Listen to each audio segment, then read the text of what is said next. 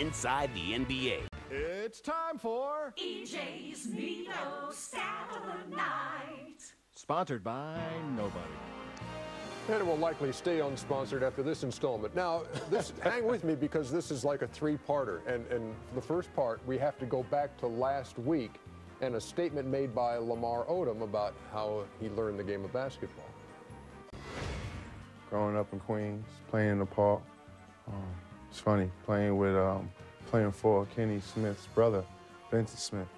Um, used to work a lot of us guys out. Um, he's the reason why I guess I can handle and pass the ball the way I do today. So that was all well and good until what happened uh, last night against New Orleans. And I guess Lamar learned this uh, from Vincent. Uh, he's going to inbound. Um, and I think that's Smush Parker waiting for the pass. And, Smush played for Vince but, too. but, but, but just said, heck with you, I'm just going to take it in. And I'll give it to you if I'm You know, it's funny. in. Smush played for Vince too. Like, what the heck is going on? Vince, that ain't Vince. See, they, they lost after Well, he lost for Vince. Anyway, that, that got us thinking about other things that Vince may have taught uh, the young up-and-coming basketball players. And the first rule from Vince was always this one. Uh, Oh, you're killing Vince. always foul the jump shooter. No, Uh, you're and, and then he taught a lot of life lessons also. He, he- did run with scissors. I'm hating. Uh, and That's he said, Jackson. Look one That's way Rhode when Island crossing a street.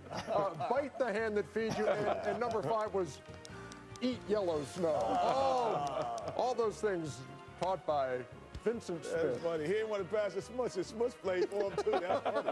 both, his, both his pupils in that scene. What is that, man? There what it is kind of- again. I know, but I'm like, what is that? What was he thinking? What, I'm saying, what is he thinking? He's not. That's- And it was a six-point game at that time. Well, here we go.